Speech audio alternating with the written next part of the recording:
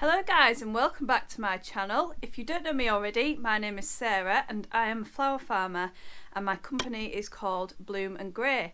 And last week I was really really busy doing daily vlogs on uh, seed starting and getting the field ready for the season ahead and this week really is going to be no different except I'm not going to be daily vlogging.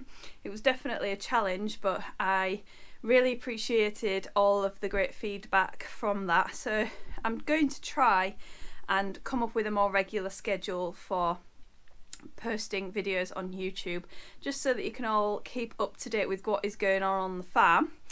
So this week is going to be more seed sowing and this morning I'm just going to be potting up all of the dahlias that I dug up last week they've just been sitting here on the side. They were a little bit damp, so I thought it would maybe be a good idea to let them dry out a bit just so that they I'm not encouraging rotting and things like that. I don't know if that's the right way to go about it, but anyway, what I'm going to do today is clean up a few of the tubers, remove some rotten ones or some bad ones, and then I'm going to pot them up in some mushroom crates, which are the blue crates that I have over there. I bought, I, I didn't buy them, I got them free from a pub that I used to work at. Those mushroom crates come in really handy, handy, so I would suggest if you feel like you could do with some of those, then go and ask a local pub or restaurant. They might just have some of those lying around that they want to get rid of. And I'm also hoping to, to do a bit of an update on the shipping container this week. Uh, it's been a little bit quiet on the shipping container front basically because I've just been so busy on the flower farm. And Rob uh, has also been a little bit busy and he's doing some fert spreading this week in the fields. So hopefully I'll have an update for you on that. And I'm just going to get cracking with putting some of these dahlias up in the mushroom crates. So I've got my stack of mushroom crates ready here and I've got some compost which is literally just some cheapy stuff that I bought from the farm shop. It's nothing special in particular. So what I'm going to do is just have a look over these tubers and see if I can clean them up a little bit. So I've got my secateurs in my pocket and I'm just looking at this one. This is a rosemary dawn tuber and this is my favourite dahlia from last year I absolutely love it so I definitely want to try and get some cuttings from that one. But I'm not sure if you can see here but this tuber is just looking a little bit horrible. It's got some white mould on it. When you actually oh look it's come apart. It's quite rotten inside so I'm going to just trim that down with my secateurs and get rid of that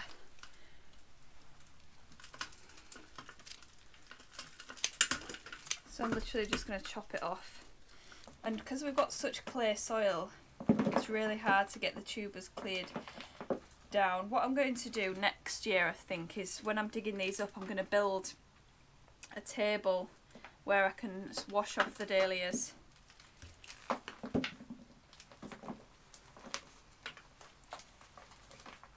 So the rest of it actually looks okay, just giving all of the tubers a little squeeze just to, to feel whether they're firm or not.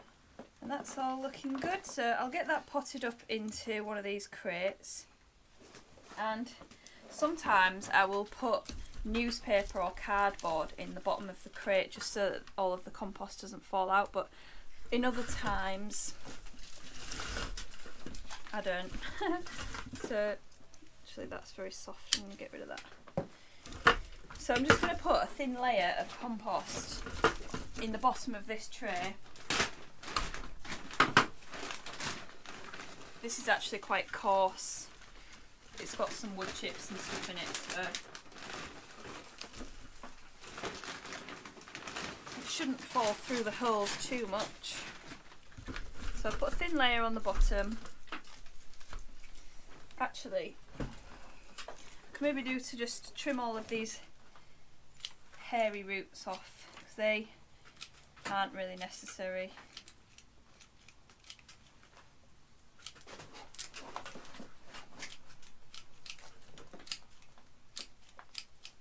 And then I'll just top it up around the tuber with a bit more compost.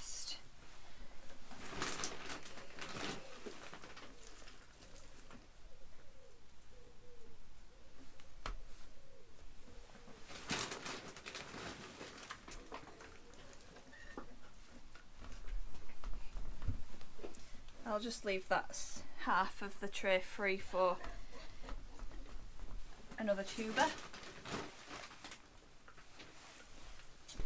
So I think I've got another rosemary dawn around here somewhere so I'm going to probably put that in the same tray next to this one and then we've got the family staying together.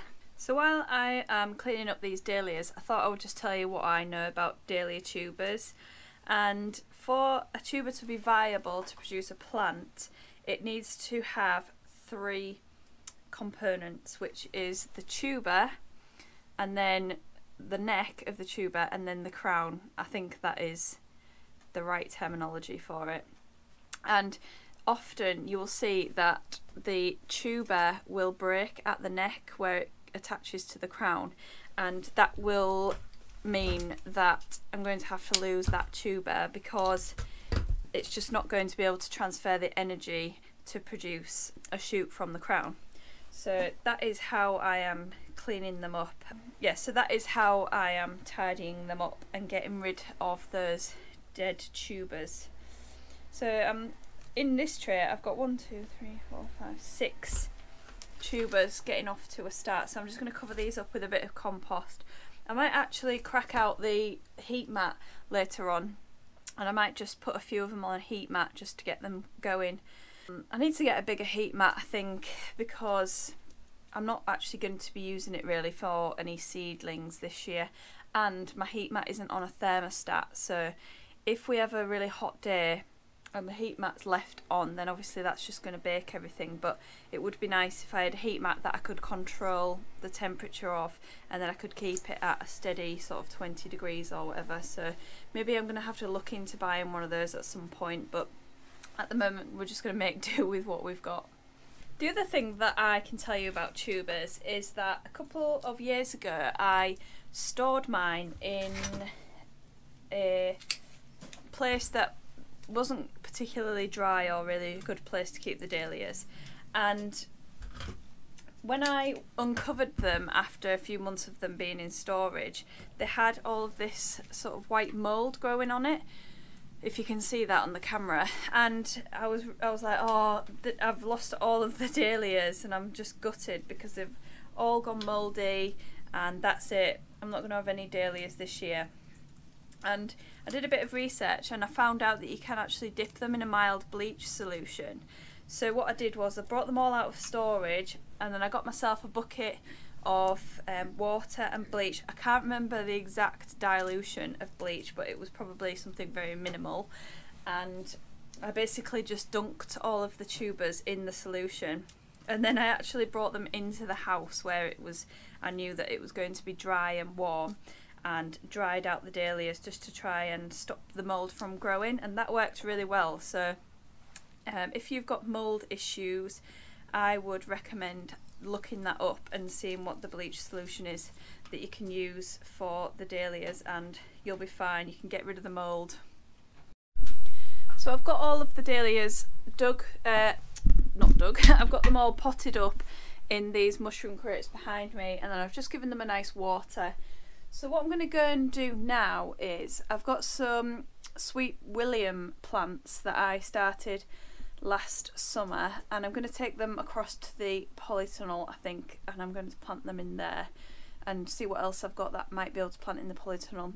I was just going to plant these snapdragons in there but I just feel like the plants are a little bit too small so I'm going to wait for them to grow on a little bit more before I plant them in the polytunnel just because I've just got a feeling that they'll get lost in there if um, I put them in there whilst the plants are so small. So let's go and find some things to plant in the polytunnel. So here I am at flower field number two and I'm just checking the greenhouse for some germination and I can't see much just yet. I have just noticed that this uh, limonium has germinated here. The cornflower has started germinating. There's one in that cell that I can see that's coming up. And then the amaranthus is looking quite good. Can you see the plants in there? Just ignore that label on top because that's not what it is. But yeah, the amaranthus is probably the one that's coming up strongest to begin with. And it's just a matter of waiting a few more days for everything else. But what I'm planning to do today is plant out the sweet williams in the polytunnel. I just need to clear um, the bed that they're going in. So I'm going to put them in that bed. Sorry, I can't talk and turn the camera around at the same time because the microphone's directional. So it has to be facing the noise for it to pick it up. So once I've planted those out, I'm hoping that I can start clearing out this field behind me. The other day I started, this is where my sunflowers were last year and when I tried to pull them up in autumn I think I just had burnout and I just didn't have enough energy to pull them up but I pulled a few up the other day when I was in here and they're really easy to come up so I don't think it's going to take me long at all to go through that and get it cleaned up so that's going to be a, a nice job I like it when you do jobs that make a big difference and afterwards you can see the fruits of your labour so then I also need to clean up a little bit in this entranceway because there's some weeds and things that I pulled out um, and I just need to put them in a wheelbarrow and get them on the muck heap so a few people have asked about my ranunculus. They wanted to see how they were getting on and they're still quite small. But I'm sure with the warm weather they won't take long at all to perk up. And I think I might give them a foliar feed with some seaweed or something at some point soon. Just to give them the boost, an extra boost. So yeah, I'm gonna weed this bed and start getting those sweet williams planted out.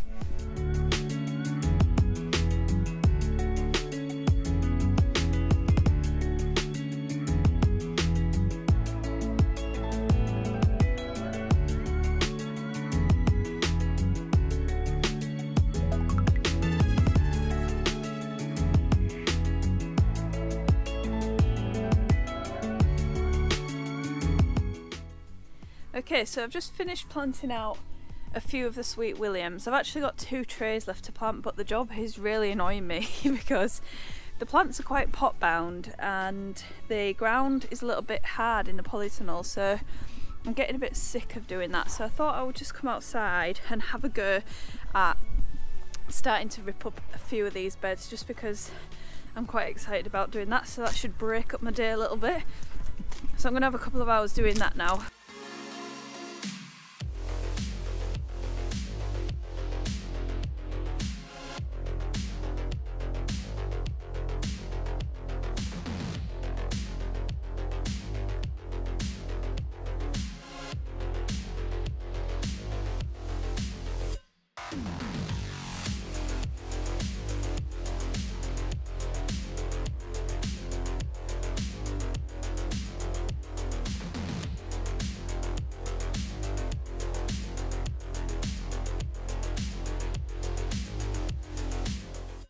So I got the field looking pretty good just after about an hour and a half. Uh, all these jobs that I've been putting off just hardly take any time at all. So uh, I've pulled up the sunflower stalks from last year, I've pulled up the mallow from last year and I have sort of kicked the stems off the dahlias um, ready to do whatever I'm going to do with the tubers underneath think I'm going to rotivate it. So yeah, that's looking nice and clear in there now. And I'm just going to take you around the corner to show you this little area. I always forget that I've got this area because it's sort of hidden. But this year, I think I might get it sorted so that I can use it in the future. I think I'm going to cover it over with weed membrane and just let everything underneath it die off. This is the area. It's sort of like a, a square behind the polytunnel. So that's maybe, it, mm, I'm not even going to try and guess how many metres squared it might be. But it's a decent area and I usually forget about it. So I'm going to uh, get that sorted so whenever I come to wanting more growing space I've got that there it's quite a decent size um, so I'm going to call it that for a day because I'm going to go in and have my tea and I've got lots of things to do tomorrow I've got to get the, the sweet Williams planted out the rest of them that I couldn't be, couldn't be bothered earlier on to do would rather be driving around in the field productive day again. And it's all down to this YouTube channel. I have to do it because I want to make the content. So I'm really glad that I started the channel because it's making me more proactive. So I'll see you tomorrow.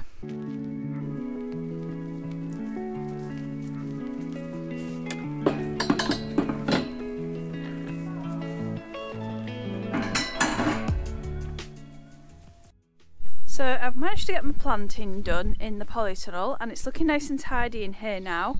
I've had a little bit of a tidy up and a sweep up. I just love sweeping. It's one of my favourite jobs.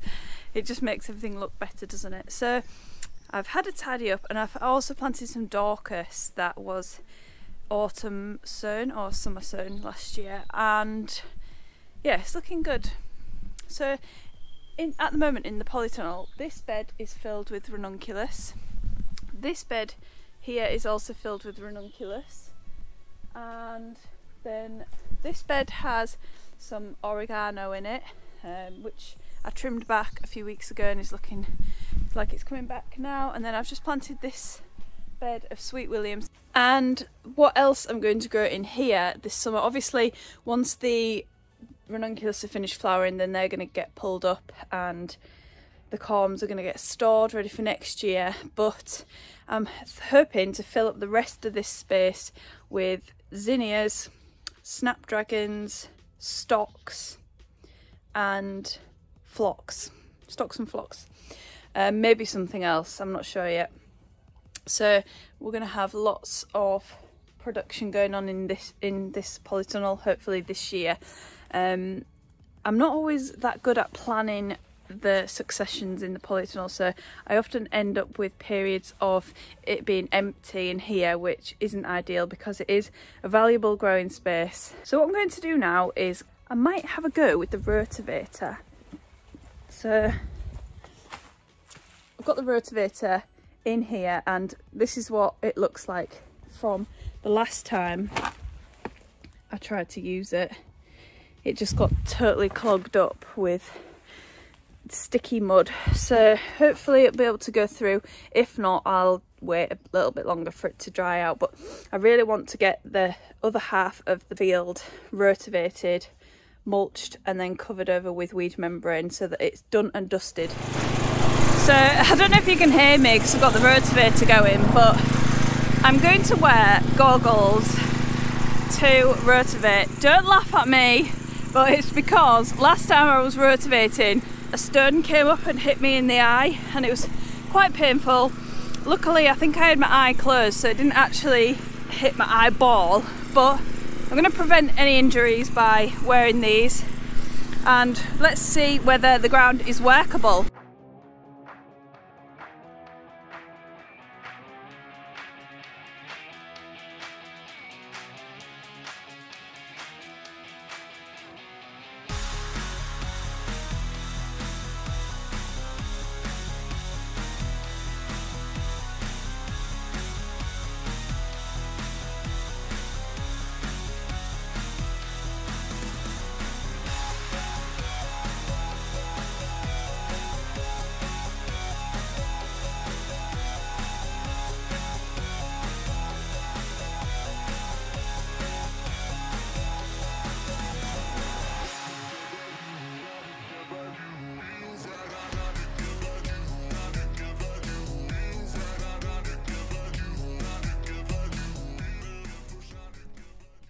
So I'm having to stop rotavating because the belt has come off the, the rotavator and I am not quite sure how to put it back on and the other reason I'm stopping is just because it is getting too wet. I think that's part of the reason why the belt came off was because it was clogging up with soil and it's probably pushed it off.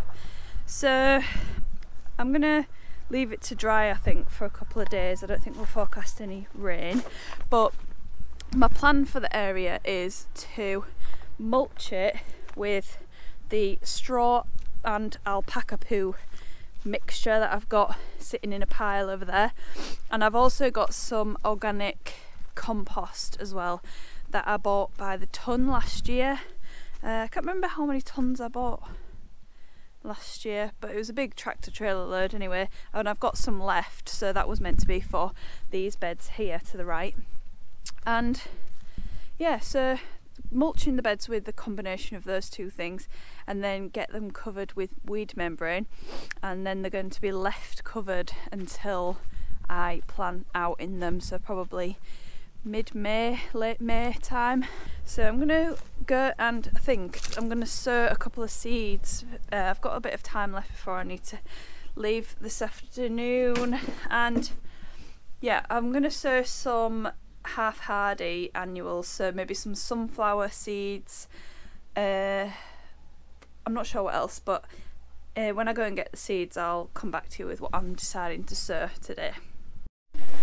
So I've just been and collected my seeds from the other greenhouse and I've done the same thing that happens every single year which is I've lost my label writing pen and I only ever seem to have one of them so hopefully it will appear somewhere I've spent ages looking for it so I'm running out of time now to get anything sown before this afternoon so what I'm going to do is I'm just going to tell you what I'm planning on sowing this afternoon and then because we're out of time you'll have to catch up with me on the weekend. So I'm, I'm planning on uploading twice this week. Tomorrow, which is Wednesday and Sunday as well. So you'll catch up with me on Sunday and I'll tell you all about what I'm sowing in more detail hopefully. So this is um, my March sowing envelope and I've got various things in here and some things in my pocket. So I've got all my cosmos seeds here which I'm going to start off and then I've got my artichokes and my sunflower varieties, more sunflowers, sunflowers, some craspedia I did actually sow some of that the other day in a packet that I had left over from last year, but this is uh, fresh seed, so I might I might sow some of that. I'm not sure. Zinnias, they're going to go in the polytunnel. I'm going to sow those. What else? Bunny tails. I've already sown some of that. Might sow some more of that as well. Some orach, some ammi, more corn cockle and more sunflowers. So I'm gonna either have to buy myself a new another new pen or have a really good look for my other one. Uh, so yeah, hopefully it'll just magically turn up somewhere because I just hate looking for things. So anyway, I'll catch up with you after this on Sunday. I'm hoping to get lots more field work done this week and getting the just getting the beds prepped ready for spring planting. I feel really on top of myself this year, so I'm really hoping that this is going to be the start of a new routine every year that's just going to be a lot easier to manage because of all the landscape fabric. So I couldn't do it all myself without the landscape fabric, so I'm really glad that I've made the investment to put that in. So thanks so much as ever for watching and I'll see you again next time.